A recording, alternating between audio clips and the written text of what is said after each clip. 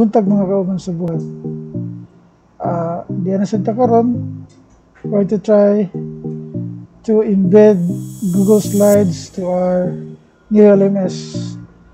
So, so we're going to click classes and search for your parent class or main class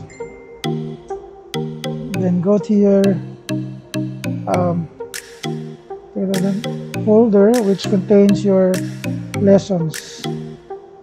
So we're going to add another lesson. Click page. It's just write Google Slides. You hit save. And then scroll down. Look for edit.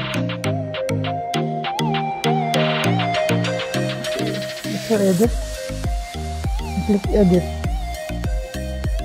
okay. So just like before instead of using the link instead of using this we're going to use the source code.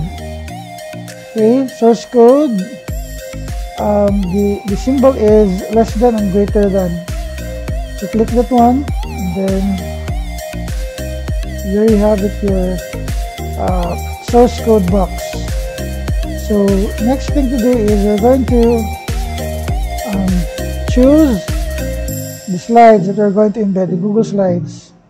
So what we can do is going to just let's say your slides are all ready and you need to embed now. So you go to file which is in the upper left of the ribbon click file and then scroll down.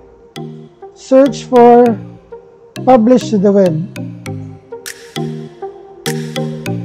Okay again file then publish to the web.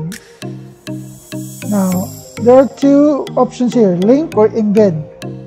So we need to embed the the slides right?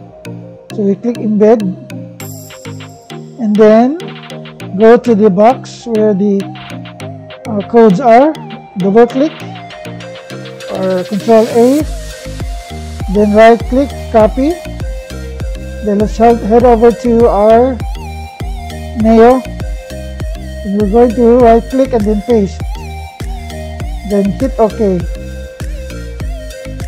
Then there you go. Here you have the preview of your Google Slides so let's try to save it. And let's try to see the student's view. Let's just go to the gear icon here on the upper left. And then hover down to view a student. And click view the class as a student. Okay. There you go. The students can click the arrow to the right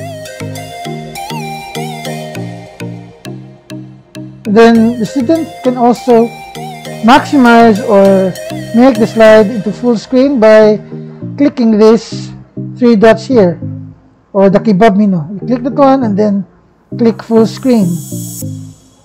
To minimize it, just hit escape. Okay, that's all for today.